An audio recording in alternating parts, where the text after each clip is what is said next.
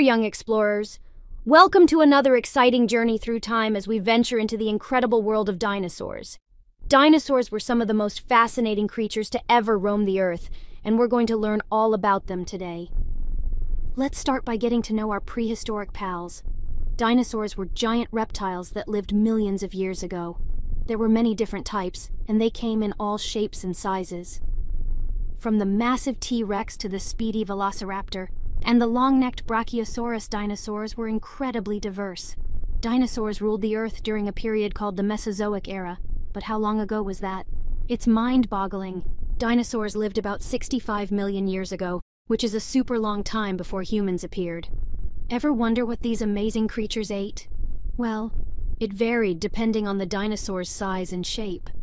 Some were herbivores, munching on plants and leaves, while others were carnivores, hunting smaller dinosaurs and other animals. Now here's a mystery. What happened to the dinosaurs? They disappeared, and scientists have some fascinating theories.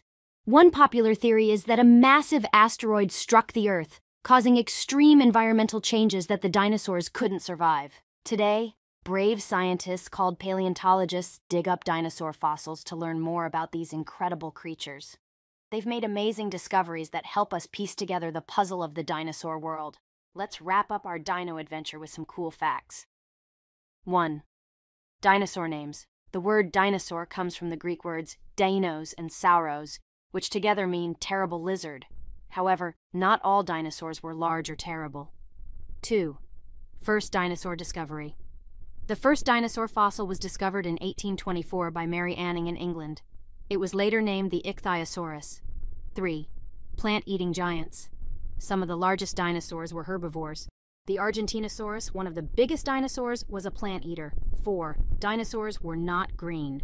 While we often see dinosaurs as green in movies, their skin color is a mystery. They could have been a variety of colors. 5. Dino relatives. Birds are the closest living relatives of dinosaurs. Some scientists consider birds to be a type of dinosaur. Well, that's a wrap on our dinosaur adventure today. I hope you've had a blast learning about these incredible creatures. Remember, kids, our world is full of fascinating mysteries and discoveries. Keep exploring, keep learning, and who knows, you might even become a paleontologist one day. Thanks for joining us on this adventure. Don't forget to like and subscribe for more fun educational videos. See you next time, young explorers.